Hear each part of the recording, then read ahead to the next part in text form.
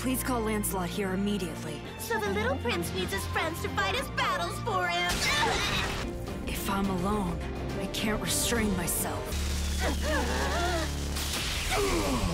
I've heard enough out of you. Damn that Tristan. He was lying about his ability having a time limit. Uh, when did you wake up? it